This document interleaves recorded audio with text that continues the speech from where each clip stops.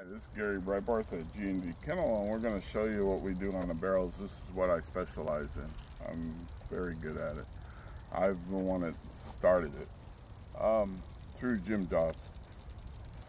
What we're trying to get the dog to do is recognize the turn whistle and understand it, look at me, and with hand signals, I'll direct him where he wants to go.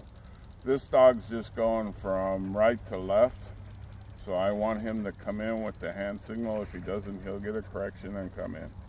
And what we're showing you is how to get the dog to understand the turn whistle and respond to my hand.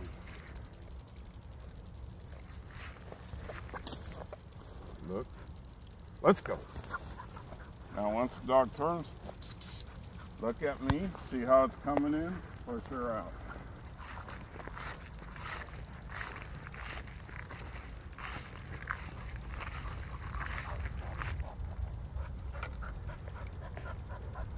Dog.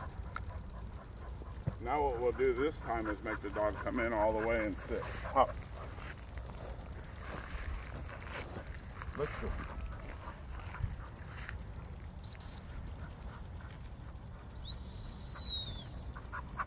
That way the dog doesn't anticipate me and want to go right directly towards the dummy. And we teach that with the draw. The biggest thing you want to control is the middle. Let's go. So now we'll turn him.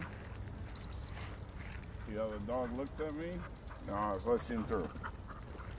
If you watch how the dog reacts to my hand, that's the key to this.